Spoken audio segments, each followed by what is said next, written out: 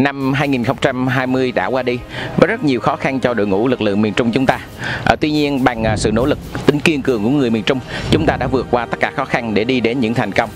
Năm 2021 đã bắt đầu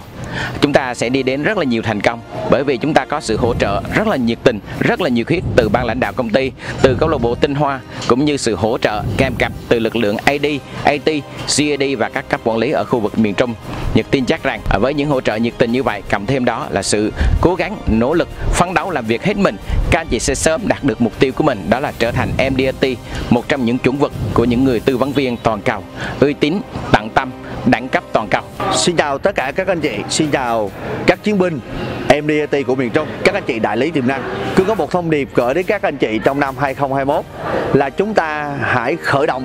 khởi động thân tốc, khởi động mạnh mẽ ngay trong quý 1 thì chắc chắn chúng ta sẽ về đích thành công. Trong năm 2021 với khẩu hiệu là nâng tầm nhìn thành công vượt bậc thì chúng ta sẽ không chỉ dừng lại ở những người đại lý ngoại hạng cơ bản hoặc là 3 sao, 4 sao, 5 sao mà chúng ta sẽ là những người MDRT